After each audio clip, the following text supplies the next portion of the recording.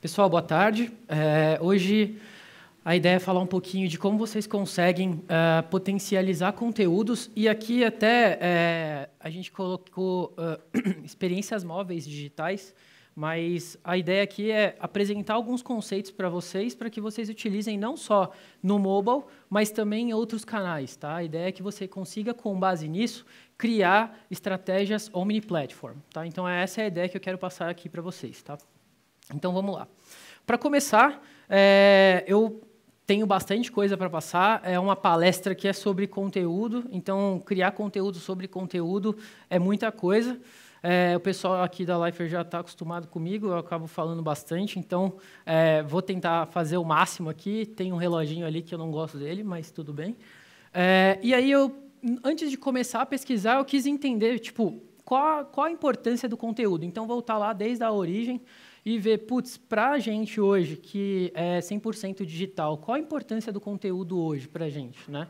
E eu cheguei à conclusão, aí, com base em várias informações que eu li, que se a maior parte das pessoas hoje que usam a internet, eles usam para consumir conteúdo, certo? Então, hoje, conteúdo tudo que a gente vê, vocês estão aqui por causa de conteúdo e são muitos os benefícios, obviamente. Você consegue aprender mais e vocês estão aqui também para entender mais rapidamente e é muito mais fácil vocês verem aqui a palestra do que saírem pesquisando na internet. Então vocês ganham tempo, certo?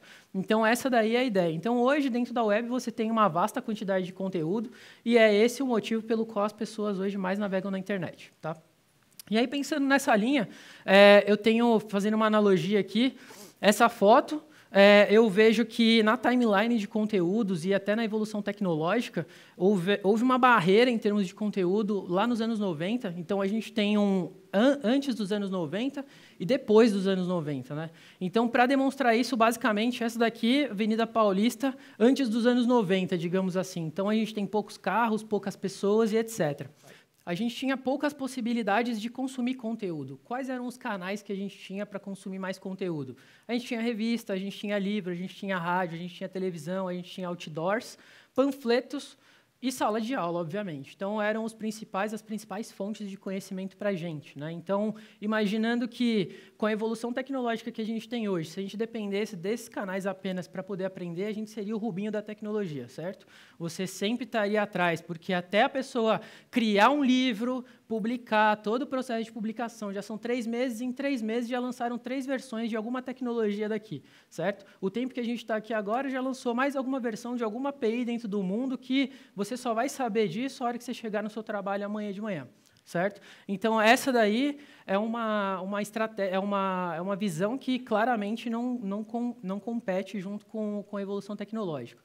E essa daqui é a visão de que eu vejo hoje, né, com conteúdo depois dos anos 90. Então, hoje é conteúdo que não acaba mais. Né? Então, você abre a sua caixa de e-mail, já tem 3 mil e-mails não lidos, de 300 newsletters que você já se cadastrou, certo? Então, quais são aí os canais de uh, conteúdo que você tem hoje? Você tem uma infinidade de canais, uma infinidade de tipos de conteúdos, de formatos de conteúdos diferentes, certo? E isso inunda o seu cérebro, beleza? Então, para a gente ter uma noção aqui do que, é, uh, do que é trafegado na internet em 60 segundos, quando a gente fala principalmente de mídias sociais também, a gente tem aqui, se você olhar na parte mais, de, mais interna aqui, a gente tem o dado de 2013, então a gente tem, vamos supor, 2,2 5 milhões de posts no Facebook em 60 segundos em 2013 para 3,3 milhões em 2015. Isso em 60 segundos. Né? E aí você tem N outras informações aqui, vídeos é, que a galera sobe no YouTube, N outras coisas. Né? Isso com isso é um processo, um círculo virtuoso ou vicioso já, né? Porque as empresas elas vão gerar ainda mais conteúdo, né? Nesse ano ainda previsto 77% das empresas ainda vão gerar conteúdo. Só que hoje conteúdo por si só é, você já tem as suas fontes de confiança de conteúdo, né? Se você for aprender alguma tecnologia nova é, e você for olhar num site que você já está acostumado e que você sabe que o conteúdo tem um português claro, é um conteúdo bem estruturado, e entra uma nova empresa com o mesmo conteúdo, com a mesma coisa, não compensa. Então, dificilmente aquela empresa ela vai conseguir ter uma, uma, uma, dar uma escalada interessante, exponencial. Você precisa trabalhar conteúdos de maneiras diferentes, certo? Essa daqui é uma outra informação ainda em redes sociais, por exemplo. Esse é um site, eu coloquei o link aqui do site. É, ele calcula por segundo todos os dados que são trocados nas principais redes sociais no mundo. Então, por exemplo, em cinco minutos aqui, ó, a gente teve mais de 1.800 novos usuários no Facebook a gente teve 2 milhões de, de, atualizações de status no Facebook. Né? Então, com tanto conteúdo, eu achei até uma analogia interessante, que foi essa daqui, que hoje você obter informação da internet é a mesma coisa que você uh, for tomar um drink utilizando o hidrante. A hora que você abre o hidrante, põe um copo lá, é essa sensação que você tem quando você consome conteúdo na internet. Né? Antigamente, o conteúdo ele vinha de uma maneira... Você tinha que ir mais atrás do conteúdo. Hoje em dia, com RSS, entre outras fontes de informação, esse conteúdo ele vem de forma proativa e você é mais reativo a isso. Você recebe essas informações, às vezes, sem pedir. Né? E nessa linha, quando eu abro toda vez o meu computador de manhã, é assim que eu me sinto. Né? Você abre o seu e-mail, você abre o e-mail do trabalho, você abre o e-mail pessoal, você abre o seu Facebook, entre outros canais que você utiliza, e é conteúdo que não acaba mais, e aí você não sabe hoje uh, em que você vai se concentrar, aonde você vai atuar primeiro. Isso é um problema, e é um problema muito comum hoje. Né? Isso fez com que esse cara aqui, que é um blogueiro aí já de muitos anos, desde os anos 90, ele criasse um termo chamado content shock, né, que é um termo que diz que, é, no marketing especificamente, que é a época em que a quantidade de conteúdo gerado ela já supera, obviamente, o limite humano de consumo desse conteúdo. Né? Você não consegue ler 3.600 e-mails da sua caixa de entrada no mesmo dia, certo? Isso faz com que a gente veja também que esse conteúdo, como ele não para de crescer, essa daqui é uma, uma noção básica, onde a gente tem aqui na, nos pilares o consumo de conteúdo que é feito por um humano, certo? Então, a gente começou lá atrás, nos anos 90, com pouca informação, foi evoluindo, evoluindo, evoluindo, a gente está aqui hoje, e a tendência para 2020 de conteúdo é lá em cima. E você não tem como evoluir, a não ser que você pegue e coloque um HD no seu cérebro para você poder processar mais informação, certo? Não dá mais. Por que não dá mais também? Porque em 1920, Uh, a gente passava mais ou menos duas horas consumindo conteúdo. Por quê? Porque eram fontes aí bem... Era, é, a, quantidade de fontes de informação era pouca. Né? Hoje, a gente passa 11 horas consumindo conteúdo. Né? E nos três últimos anos, esse número ele aumentou aí de duas em duas horas já. Então não dá mais, só se você passar 24 horas consumindo conteúdo, e aí você não dorme, certo? Ou então você deixa o seu cérebro rodando de noite, fazendo atualização na web, enquanto você dorme. Né? É uma coisa bem complicada. Já dizia uh, Bill Gates em 96, conteúdo é rei. Só que hoje em dia não é mais assim. Se você for produzir mais do mesmo, que, que, que, que diferencial você tem? Né?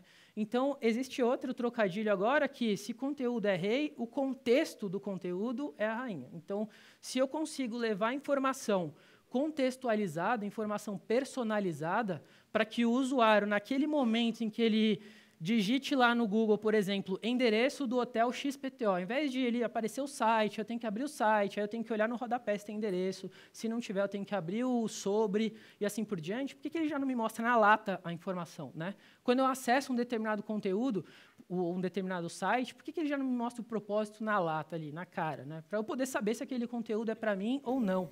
Né? Então, isso é uma coisa que ainda está engatinhando. Né? Uh, a gente lê muitas vezes, você lê artigos onde o artigo é aprenda a programar. Aí ele começa falando da história da programação, aí tudo que você já ouviu em 300 outros artigos de aprenda a programar, e aí depois ele tem dois parágrafos que realmente são interessantes para você. Ou isso dentro de um vídeo de 17 minutos, onde os dois últimos minutos é o que realmente vale a pena para você. Então é muita injeção de linguiça, às vezes para pouco conteúdo. Né? Então a gente está um pouco cansado disso. E aí, como que a gente consegue uh, produzir conteúdo de uma forma eficaz, né, trabalhando um pouco mais a questão do reuso de conteúdo, a gente fala de modularização dentro do desenvolvimento de software, eu também posso levar esse conceito para dentro da parte de gestão de conteúdo, como é que eu consigo fazer isso para ter um diferencial competitivo? Tá? Se eu quero criar um bom conteúdo, eu tenho que criar uma boa estratégia de conteúdo. E essa estratégia, ela permeia aqui ó, os objetivos de negócio e os objetivos do usuário. Então, é ali onde entra a estratégia de conteúdo. Então, a maior parte das vezes, você dá na telha e você fala, eu vou postar alguma coisa no LinkedIn Pulse ou vou postar alguma coisa no meu blog. você chegou a pesquisar, a estudar e etc. Né? Muita coisa do que é criado hoje, obviamente, é um resultado de todo um processamento de informação que você já fez lá atrás, e isso, somado à sua massa crítica, fez com que você criasse um conteúdo diferente, certo? Você não fala, porra, agora eu acordei e eu vou produzir todo o conteúdo que ninguém nunca viu na vida. Não, do seu cérebro, ele vai falar isso para você. Não, né? Para isso, uh, eu trouxe um conceito, é uma estratégia de conteúdo chamada conteúdo adaptável, ou Adaptive Content, que vocês podem procurar aí na internet, é bem interessante. E essa estratégia, ela visa trabalhar o quê? O conteúdo adaptável é uma estratégia que faz com que você crie o conteúdo uma única vez e reutilize ele nos diferentes canais, situações e cenários. Certo? Então, você vai criar ele uma única vez e você vai, com base nele, fazer um post num blog, colocar ele dentro do seu website, é, compartilhar ele nas redes sociais, ou então pegar o apunhado desses posts e criar um e-book isso tem sido muito frequente, eu tenho visto bastante. Você pega lá um monte de. Você postou, você falou sobre o SDI, você criou cinco partes dentro do seu blog. Pega esse, essa parte, passa uma linha editorial nele e cria um e-book. Isso é muito comum de se fazer. Você está pegando um conteúdo que você já produziu, obviamente dando uma outra roupagem, porque é um outro canal. Né? Às vezes você cria um gráfico ou outro, certo? E aí uma questão interessante, o gráfico, né, as informações visuais, elas são processadas pelo cérebro 60 mil vezes mais rápido do que o texto. Então, quanto mais conteúdo gráfico, quanto mais vídeos, melhor para o seu usuário final. Né? E nessa linha, uh, o conteúdo ele não tem que ser só reutilizável. Pô, eu peguei lá, criei, postei no blog, postei na rede social e está pronto o meu conteúdo e aí é o meu diferencial competitivo. Não. Aí você tem que incluir a questão da personalização. Né? E essa personalização ela é baseada em quê? Ela é baseada no contexto do seu usuário, foco no usuário. E aí existem N uh, estratégias, N frameworks, aí, N técnicas de você entender um pouco mais dos seus usuários nos canais, etc., cruzar isso versus a sua estratégia do, de negócio, de por que, que você está produzindo aquele e-book e assim você consecutivamente fazer esse conteúdo ser um conteúdo que pode viralizar. Né? Uh, esse é um mapa mental da, da parte de conteúdo adaptável. Né? A gente tem aqui a parte de Omnichannel, que faz integração aí direta com o reuso de conteúdo, obviamente. Né? A gente tem User Experience aqui, produzindo esse conteúdo e veiculando essas informações nos mais variados tamanhos de tela, uh, com conteúdo responsivo, com conteúdo com layout adaptativo, utilizando personalização. E quando a gente fala em conteúdo adaptável, a gente está falando de estruturar esse conteúdo de modo que ele seja realmente adaptável. Então, existe um trabalho de modelagem desse conteúdo, um trabalho de arquitetura da informação, um trabalho de taxonomia é, muito forte. Né? Quanto mais você aplicar regras, quanto mais você categorizar, quanto mais você gerar metadados daquele conteúdo que você está produzindo, melhor para qualquer um dos canais que vá consumir essa informação e vá exibir essa informação na ponta, certo? Muitas vezes o metadado ele é mais importante do que o conteúdo. Muitas vezes. Tá? Uh, quais são os principais pilares aí quando a gente fala em conteúdo adaptativo? O adaptável. O primeiro deles é o conteúdo estruturado. O conteúdo ele é um objeto, certo? Então ele tem uma estruturinha dele, utilizando padrões abertos, obviamente, porque isso te permite uma portabilidade, tá? Depois disso, a gente tem Conteúdo independente da apresentação é aqui que tem meio que o pulo do gato. Né? Se você estruturou bem o seu conteúdo, a ideia é que você divida isso. Apresentação, camada de apresentação é uma coisa, conteúdo é outra. Ou seja, isso faz com que você deixe de utilizar um pouco aquele editor de what you see is what you get, deixe de pegar todo aquele conteúdo com todas aquelas formatações de texto, imagem, etc., e simplesmente coloque numa caixa e reutilize isso. Não dá para reutilizar.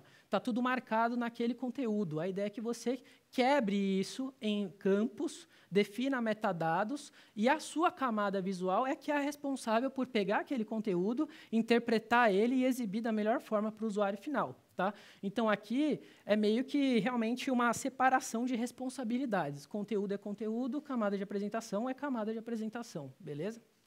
Depois disso, a gente tem metadados, que eu comentei, que é muito utilizado. E, por último, conteúdo reutilizável. Tá? Não é porque eu produzi um conteúdo que ele é reutilizável efetivamente. Isso depende muito da estruturação que eu fiz desse conteúdo. Tá? Como eu comentei, se você pegou e falou, pô, criei três campos lá, que é what you see, do tipo what you see, what you get, né, o editor de conteúdo, colei todas as informações nesses três campos e aí eu vou reutilizar. Não necessariamente, certo? Então, você não consegue fazer isso. Por último, a gente vem com o resultado. Qual a análise final disso? Eu preciso investir mais na modelagem e estruturação desse conteúdo no momento em que eu estou construindo ele e também focar bastante na questão da personalização. Só assim eu consigo fazer o todo e ter realmente um conteúdo adaptável. Tá? Eu coloquei aqui algumas informações interessantes que são Uh, a maioria aqui das, das do, dos processos que são startados pelo smartphone, por exemplo, o cara está lá e fazendo uma compra online. 25, é, 65% das pessoas elas utilizam o smartphone, iniciam a transação no smartphone, e desses 65, 61 delas acabam uh, terminando isso no computador, enquanto 4% terminam no tablet. Né? Aí a gente tem outro caso aqui.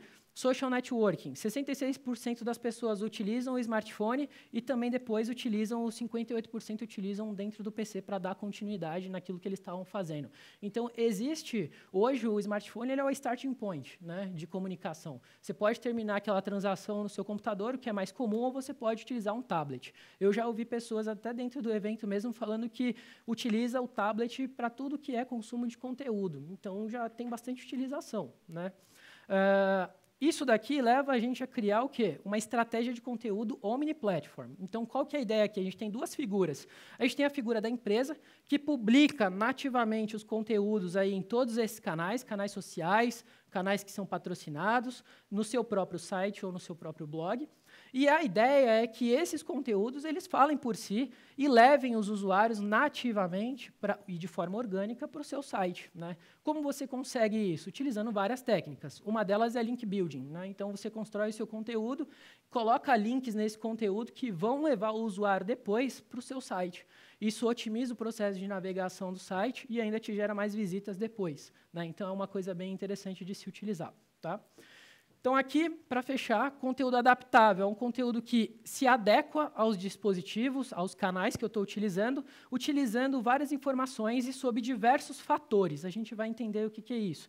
Então, isso significa que o usuário, ao acessar aquele conteúdo, ele já sabe se é para ele ou não. Tá?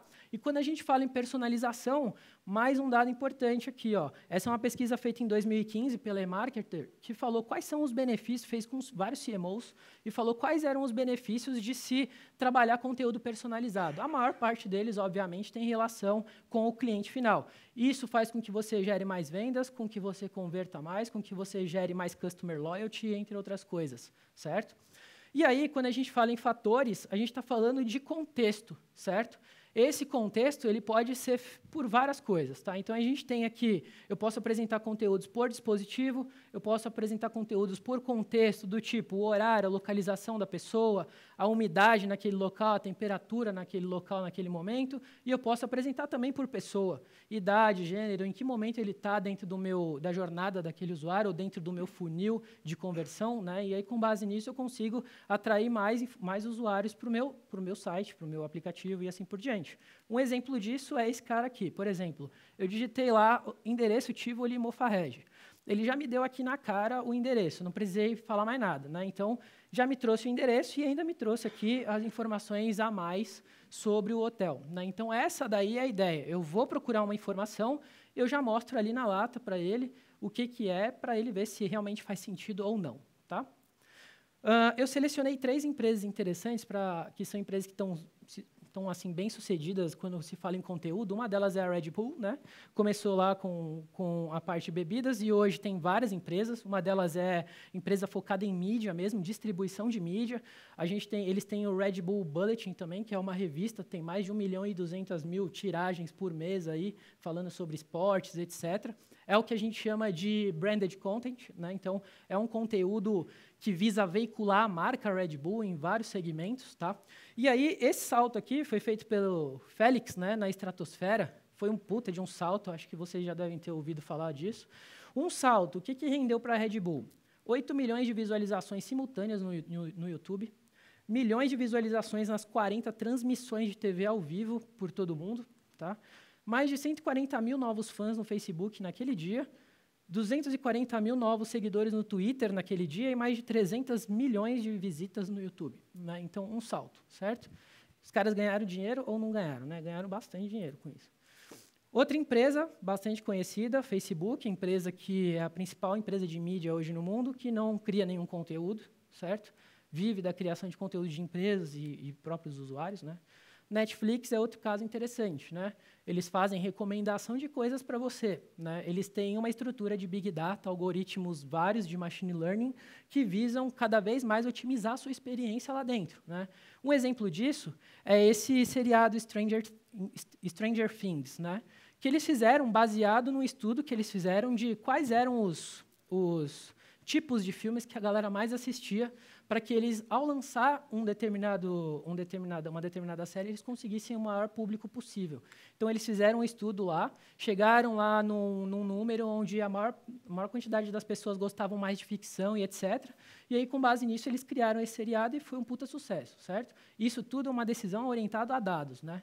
Então, aqui eles têm mais de um bilhão e 600 mil, 600 mil requisições por dia nas APIs que eles utilizam, todos orientados à API, e mais de mil dispositivos diferentes. Como eles conseguem lidar com isso? Né? Tem todo um trabalho de estruturação de conteúdo que é feito por trás, certo? Obviamente, são dispositivos diferentes. Eu estou veiculando vídeo, eu trabalho o streaming disso, eu trabalho a qualidade disso, de acordo com a banda que o usuário está consumindo, de acordo com o tamanho do device. Eu tenho N uh, requisitos não funcionais que estão atrelados à distribuição dessas mídias. Né? E aí eu trago para vocês outro conceito que eu achei interessante, chamado COPE. Né? Esse COPE é um conceito que ele diz que você cria o conteúdo uma vez e publica ele em todos os lugares. Tá? Esse primeiro, essa técnica aqui, ela foi, uh, foi, digamos, bem disseminada aí a partir do momento em que houve uma implementação disso nesse NPR, que é uma empresa de mídia dos Estados Unidos que, com o crescimento dela, ela começou a veicular mídia para vários canais, para rádio, televisão, jornal, para o próprio website, blogs. E aí o cara que estava lá naquele momento, chamado Daniel Jacobson, que hoje é vice-presidente de engenharia da Netflix, né, ele criou esse modelo, ele implementou esse modelo tecnicamente dentro da, da empresa e foi um puta sucesso. Né? O que, que eles fizeram? ele criou aqui uma plataforma, utilizou uma plataforma de CMS, ele criou isso, foi tailor-made. Né? Depois, criou uma camada de APIs para expor essas informações, esses conteúdos, e, por fim, a camada de apresentação, certo? Então, os usuários eles vinham e imputavam as informações no CMS e as APIs eram as responsáveis por expor esse conteúdo para os mais diferentes canais de distribuição. Tá? Essa daqui é NPR em 2007. Tá? São conteúdos aí diversos, mas você vê que o visual é um pouco pobre. Né? Essa é a NPR hoje. Né? Tem uma modificação de look and feel, só que os dados hoje ainda utilizam a mesma arquitetura de antes. E isso é interessante, é um reuso que você faz. Né? Qual a arquitetura deles lá? A arquitetura deles é essa. Então, aqui na ponta, eu tenho a, a, camada de entrada de dados. Né? Então, aqui eu tenho editores de conteúdo, área de comunicação, eu tenho scripts que fazem leitura na web, fazem uh, screen scrapping, fazem N outras coisas, carregam conteúdos para essa base de dados aqui. As APIs utilizam um conteúdo já mais estruturado, eles utilizavam aqui XML como estrutura de dados de comunicação, e depois eles criaram uma camada de APIs dos, dos mais variados tipos, pública, para parceiros, privada, enfim. E aí esse cara aqui era o responsável por veicular as informações nos mais distintos canais, de acordo com o que cada um podia acessar. Então aí a gente tinha ainda um trabalho de permissionamento para isso. Tá? Então aqui você vê nitidamente que existe um fluxo. Né? Então aqui começa o processo de criação da informação e aqui é onde eu distribuo isso em todos os canais. Tá? A Gartner falou há três semanas atrás isso daqui que eu achei bem interessante também. É, o COPE, essa cópia aqui, ela é uma técnica que foi implementada no NPR em 2007. Né? A gente está em 2016 e isso ainda é muito falado. O próprio Gartner fala que se você não tem uma estratégia desse tipo, ainda é tempo de você utilizar isso, para você poder trabalhar o reuso do seu conteúdo. Tá? Uh, dentro do COPE existem algumas subfilosofias, digamos, que são algumas premissas. Vai? Uh, a primeira delas é construir sistemas de gestão de conteúdo e não ferramentas de publicação de conteúdo web. Né? Então, aquele, aquele famoso é, Wix, né, que você vai lá, joga o conteúdo lá, o seu site pronto em cinco minutos. Né? Isso é um publicador de conteúdo web. Ele está focado em páginas web, ele não está focado no todo. Né? O gestor de conteúdo ele já está mais estruturado, mais bem estruturado. Né? Então, ele já consegue prover informações para você para que você tenha uma flexibilidade maior na exibição desses conteúdos. Tá? Sempre trabalhe com padrões abertos, normalmente XML ou JSON, certo? E aí a gente entra, separe o conteúdo da apresentação, mesmo critério que o conteúdo adaptável também fala. Né? Aqui do lado eu tirei um screenshot do Liferay, a nova plataforma, né? onde aqui você consegue aí criar os seus templates para cada estrutura de conteúdo que você tem. Né? Isso é separar o look and feel do seu conteúdo, certo? Eu separo aqui a camada de apresentação do meu conteúdo, da minha estrutura, certo? Então, nesse caso aqui específico, eu posso criar esse template para web, eu posso criar um outro template mais responsivo ou mais adaptativo para a camada mobile, e eu posso utilizar outros recursos, como o Liferay Screens, que eu vou comentar um pouquinho, para veicular essas informações como recurso nativo no mobile. Né? Tudo isso através dessa estruturação de conteúdo que eu fiz, tá? que é o segundo item, que é a questão da modularização. Então, aqui do lado, eu tenho a parte de criação ou de tipos de documento ou de conteúdo, de estruturas de conteúdo, seja estrutura de conteúdo web ou tipo de documentos, quando a gente fala em gestão eletrônica de documentos. Tá? Então, nesse caso aqui, eu tenho aqui os meus tipos de, os meus campos que eu posso utilizar, e aí, com base nisso, eu crio estruturas. Quando eu crio estruturas, eu crio semântica, certo? Essa daí é a ideia do conteúdo adaptável. Você dá semântica para os seus conteúdos através de marcação. Beleza? É dessa forma aqui que o Liferay faz as marcações no seu conteúdo e armazena isso dentro da estrutura de maneira genérica para que você consuma essas informações depois. Então, aqui é um exemplo disso. Você cria aqui o seu tipo de conteúdo e assim você garante a modularização dele. E, por último, é garantir a portabilidade desse conteúdo. Tá? Então, é outro screenshot que eu tirei do Liferay. Aqui, fazendo uma simulação, o Liferay tem um recurso de preview bem interessante. Eu fiz aqui uma simulação no mobile, aquele conteúdo que se eu simular no desktop, ele vai se adaptar um pouco mais, ele vai expandir um pouco mais, no meu mobile ele faz também o trabalho de uh, se adequar a um dispositivo móvel, né? e assim por diante, tá? IoT ou o que, o que quer que seja. Tá? Então, o que, que a gente acredita? Dentro do copy, eu tenho isso. Né? Agora, quando eu falo de conteúdo adaptável, eu também estou falando de personalização, certo? Então, a ideia que a gente acredita é que eu não tenha mais sistemas de gestão de conteúdo. Afinal, a gente já saiu de 2007, está em 2016, muitas coisas aconteceram, perfeito? E nessa linha, a gente acredita que você tenha que construir plataformas de experiência digital que vai prover já um conjunto de funcionalidades nativas para que você gerencie alguns canais, os dois principais, web e mobile, perfeito? E vai permitir também que você crie personalizações de acordo com N regras, que são aqueles fatores, alguns deles são aqueles fatores que eu citei no slide anterior, beleza? E é nessa linha que o Liferay entra também como sendo uma plataforma para viabilizar isso, né? É suporte a aplicativos nativos através do Liferay Screens, é suporte nativo a web responsivo, web mobile, através do Lexicon hoje, baseado em Bootstrap. É também suporte a web padrão, é a personalização através do audience targeting hoje, que você cria aqui regras, segmenta seu, seu, seu cria segmentos de usuários aí para poder veicular informações mais personalizadas para aquele tipo de persona, e também as APIs que permitem que você utilize aqueles mesmos conteúdos que você armazenou no canal web, no canal mobile, enfim, reutilize esses conteúdos para outros canais também, que não venham por padrão, tá? Não existe uma plataforma hoje que vai te prover é, tudo nativo para os 300 milhões de canais e para o canal de amanhã também que vai nascer aí. Né? Então, muita coisa você precisa desenvolver, não tem mágica. Né? Então, você tem que fazer também. Por isso que a gente tem as APIs. E numa visão um pouco mais bonita aqui, a gente tem uma mini arquitetura de alto nível do DXP. Então, aqui eu tenho as APIs que eu posso utilizar vários frameworks para desenvolvimento dessas, dessas aplicações. E do lado direito, eu também tenho aplicações do próprio Liferay, que a gente normalmente chama de portlets e tal, que também dão suporte aos principais dispositivos de mercado, beleza? Então, nessa linha aqui eu tenho toda essa camada, e o mais legal de tudo isso é que se eu utilizo uma plataforma como essa, eu tenho já built-in recursos de segurança, como autenticação, autorização, né? Eu tenho também recursos de caching, quando a gente fala até na camada mobile, nativa, perfeito? E por que, que eu decidi falar de dispositivos móveis. Né? Eu acho que eu não preciso nem falar o porquê, porque acho que todo mundo sabe, não dá para falar que mobile é o futuro. Né? Se alguém falar isso, não dá. Né?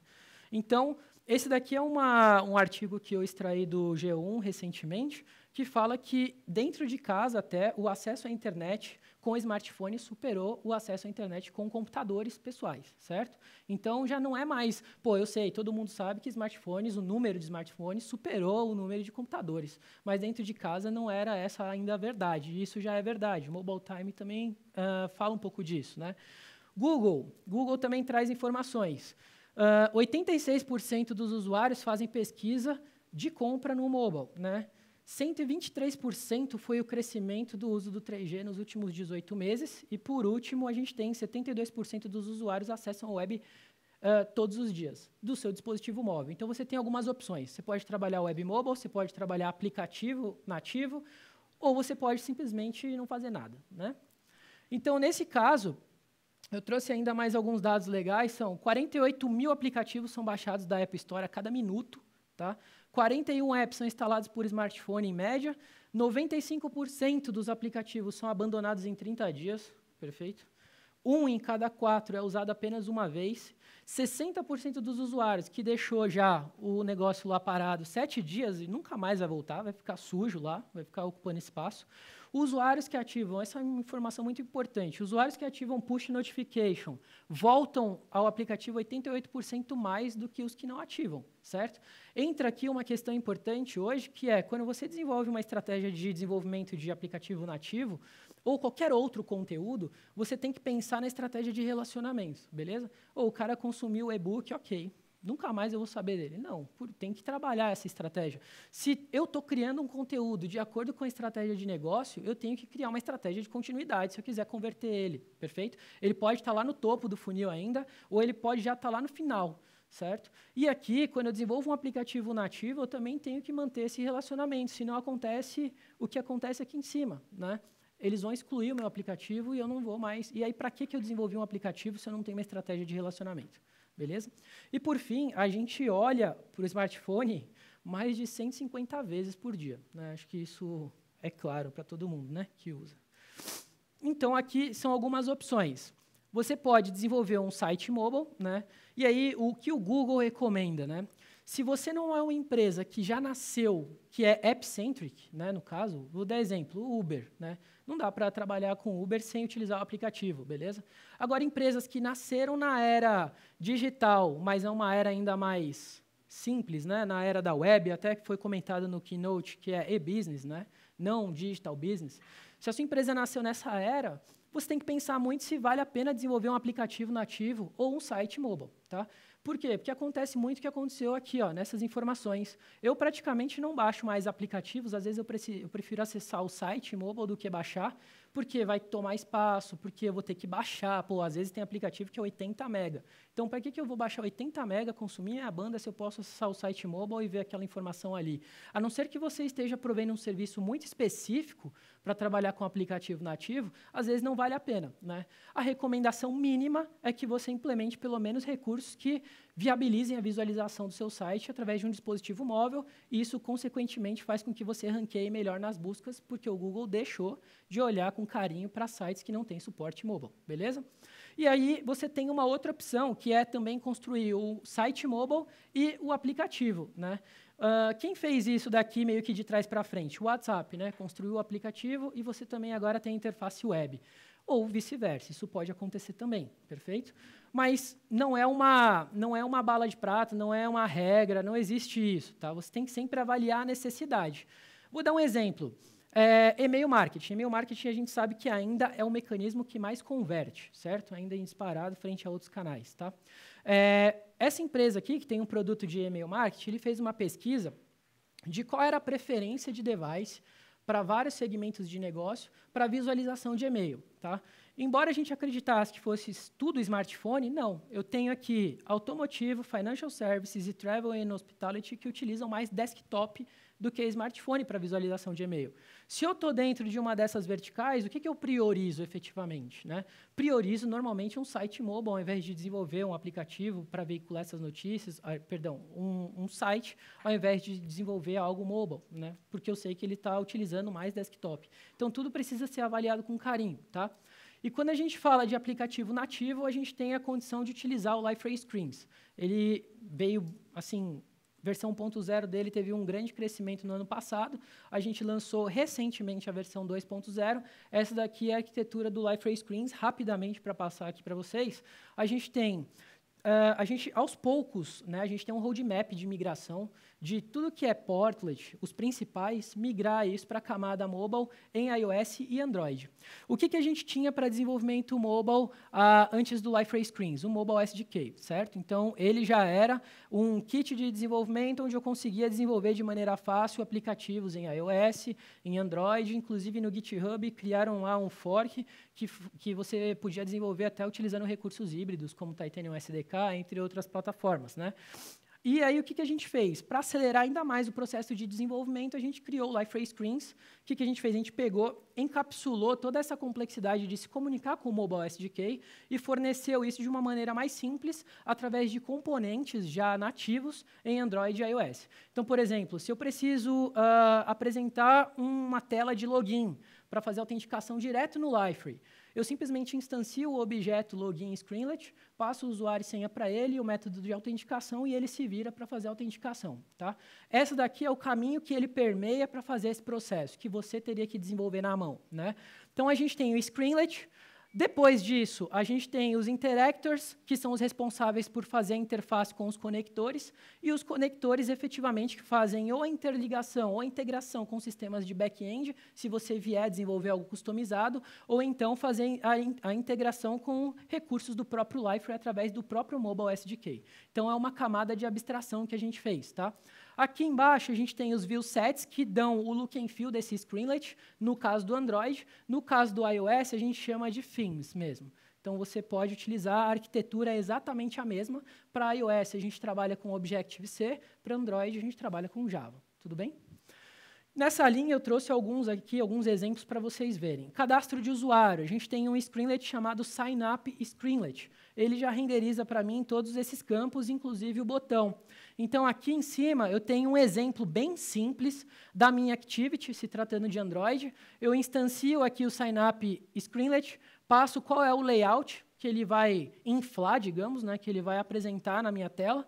E depois disso, eu tenho aqui alguns callbacks, né? alguns métodos que eu posso, ó, on sign-up success, deu certo, ele me passa uma instância daquele usuário, e aí eu tenho algumas informações daquele usuário que eu posso capturar para poder trabalhar isso. Aqui embaixo eu tenho o exemplo do layout. O layout também utiliza aqui ó, o sign-up screenlet. Então, eu defino qual é o usuário e password anônimo que ele vai usar para poder cadastrar esse usuário lá dentro do Liferay.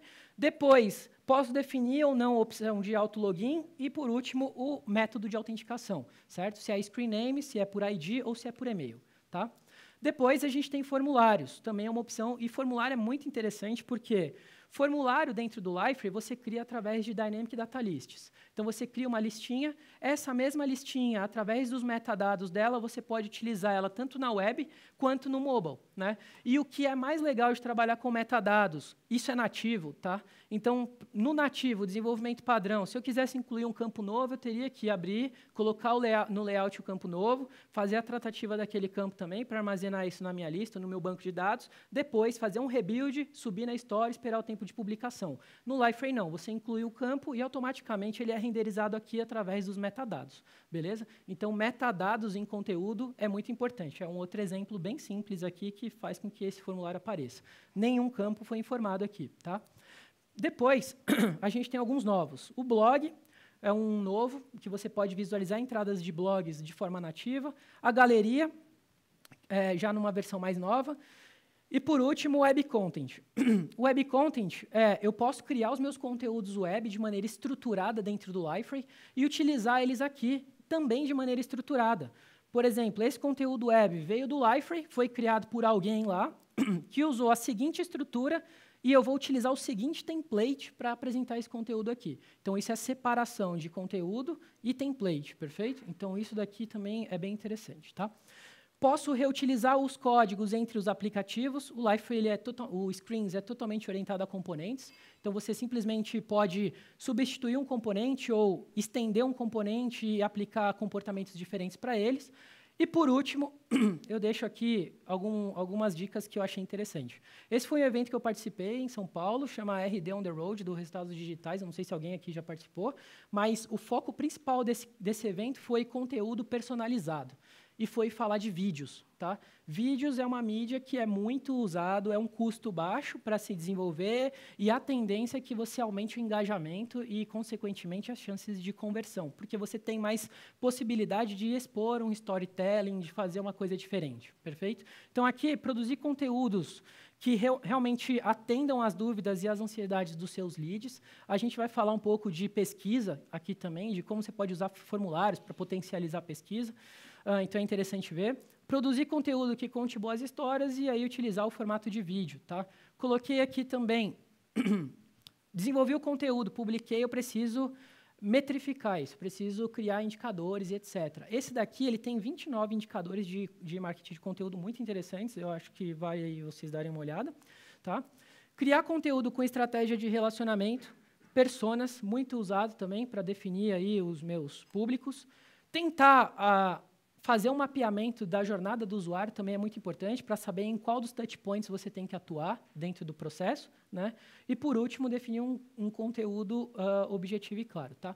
Quando a gente fala em entender o usuário, a gente normalmente pesquisa keywords, quais são as keywords mais populares, que a galera mais pesquisa, ou a gente faz uh, qual a pesquisa que a galera mais faz a respeito do meu nicho, do, do meu segmento, etc. Né?